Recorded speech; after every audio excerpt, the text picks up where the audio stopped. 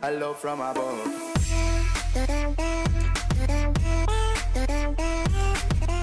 Se torne um profissional em jogos de tiro. Obtenha vantagens com o controle da Visual Controles. Links na descrição.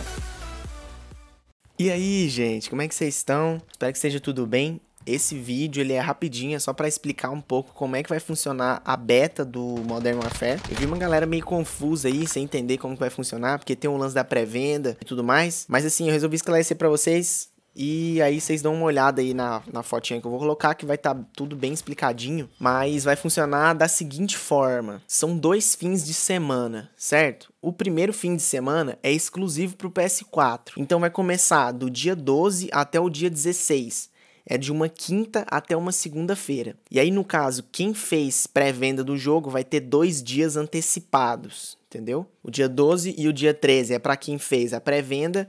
E no dia do dia 14 ao dia 16 é aberto para todo mundo, do PS4 no caso, né? E aí vai fechar segunda-feira, beleza. Passa terça, passa quarta. Na quinta-feira, provavelmente deve ser à noite. Quando eles abriram beta na quinta, costuma ser na parte da noite. Então, eu vou chutar que vai ser à noite, tá? Na quinta noite vai abrir de novo. E aí, esse próximo fim de semana é o Xbox e PC. As outras plataformas vão estar tá nesse segundo fim de semana. E aí, os dois primeiros dias, novamente, é pra galera da pré-venda. Mas no caso, é a galera da pré-venda do Xbox e do PC. Se você for do PS4.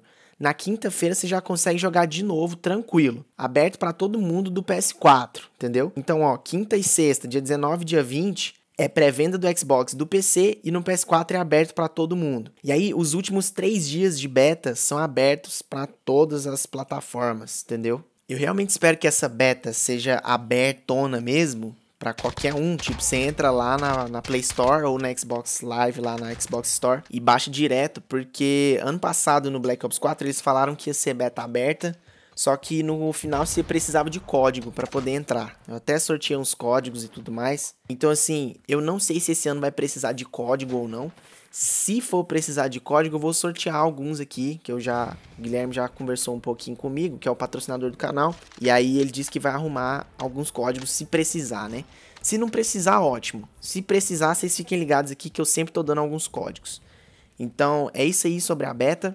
Comenta para mim se vocês estão ansiosos se vocês estão gostando da cobertura aí, do jogo em si. E é nóis, manos. Valeu, falou e fui.